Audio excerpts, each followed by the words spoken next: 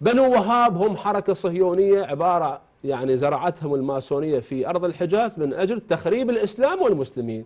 فإحنا إما نتكاتف ونصير وحدة إسلامية كسنة شيعة سائر المذاهب حتى نواجه هذا الخطر لأن الخوف ليس من اليهود وإنما الخوف من يهود الأمة اللي هم في وسط الأمة يفتتون بالأمة ويحفرون للأمة من أجل الوقوع بها. فلا بد علينا أن نتكاتف أحبتي.